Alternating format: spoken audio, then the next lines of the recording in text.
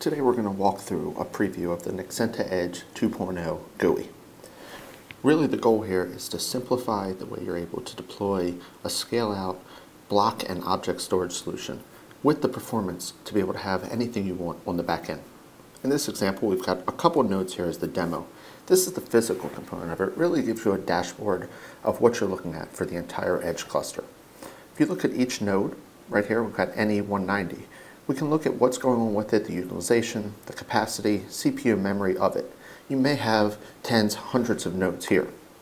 You can go into details and actually see the individual devices to see what kind of capacity we've got for the drives and the devices on each one of the nodes. Also up top, you've got an overall dashboard looking at things like how many S3 services or iSCSI services you've got created, all the way down to some of the reduction ratio and some of the utilization as well as the number of objects. That includes the LUNs and the nodes in there, as well as all the objects you've put into the object store. Regardless of whether you're presenting as iSCSI, Swift, or S3, you see all the objects there. And then, of course, capacity utilization. From there, we can jump over to a logical view of the system. Here you notice we've got three services and a few clusters.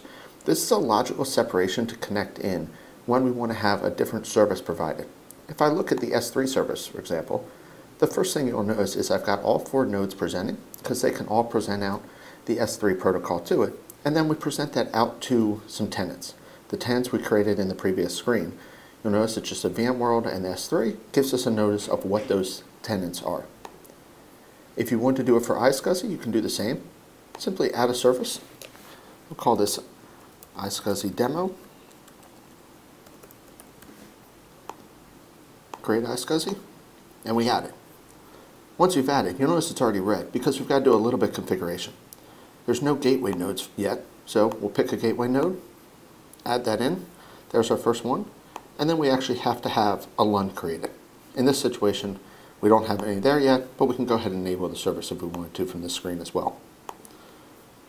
Down onto the cluster screen, like I said, this is a logical separation. So in VMworld, you notice I've got my three tenants. This is to separate out for the services. So each one of those three services we created, we also have tied to a tenant. Going into the S3 one or into the iSCSI one, you can see a little more detail on each one. I can also delete it or change users. These gives us our buckets of what we're looking at within the object store. So really overall, this is just designed to make it as simple as possible to see it.